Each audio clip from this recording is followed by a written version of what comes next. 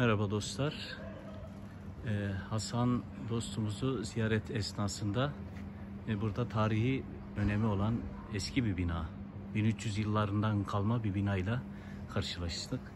Ve ben binanın özellikle giriş kapısındaki yazıyı da e, kapıyı da size göstermek istiyorum.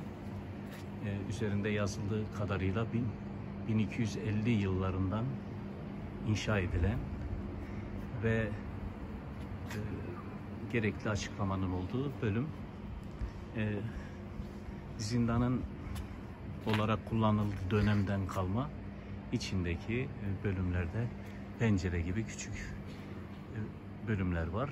Binayı böyle yakından olduğu gibi size göstereyim. Bu bina çok farklı amaçla kullanılmış. Bir dönem e, Cadılar Kalesi gibi.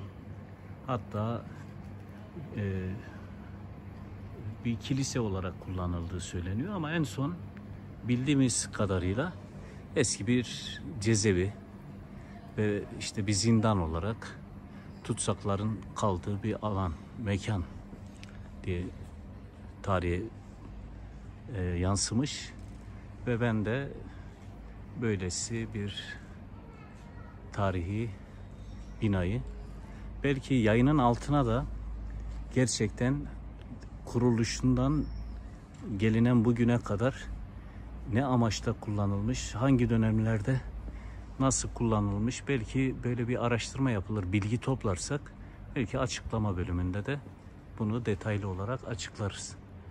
Ee, 28 metre yüksekliğinde olduğu söyleniliyor ee, aldığım bilgiler doğrultusunda ama daha sağlıklı, net, doğru bilgi aktarmak da e, onun için zamana bırakayım. Birazcık geriye giderek e, uzaktan da olsa binanın nasıl göründüğü bir kale gibi e, yüksek ve içinde de çok farklı amaçlı kullanılan bir bina. Evet dostlar. Arada bir gezilerimizde bulunduğumuz alanlarda tarihi böyle özel yerleri tanıtmaya, tanıştırmaya çalışacağım.